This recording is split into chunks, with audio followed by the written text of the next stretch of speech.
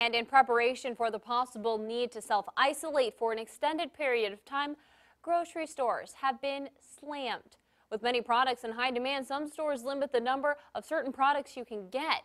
10 on your side's Brett Hall went to several stores today, but more importantly, he brings some context as to why toilet paper is flying off the shelves. Brett.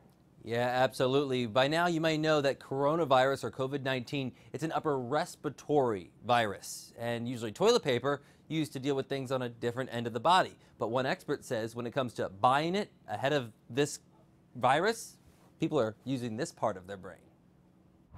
It's a sound more welcome than a cough. And by the looks of the shelves in stores from the peninsula to the south side, it's been heard a lot. Crazy. I couldn't find a lot of stuff that I needed. Cynthia Brothers tried her best today at the Kroger in Hampton. No hand sanitizer, no alcohol, uh, rubbing. And of course, toilet paper. While the coronavirus is no laughing matter, many people just cannot figure that one out. Dr. Jay Zagorsky with Boston University recently gave it his best educated guess, though, in a piece written for the online publication The Conversation. Zagorsky says the mass hoarding of TP is likely an example of zero risk bias, which is when you eliminate as many risks as you can during uncertain situations. In other words, you may not be able to avoid the coronavirus, but you may be able to avoid running out of toilet paper.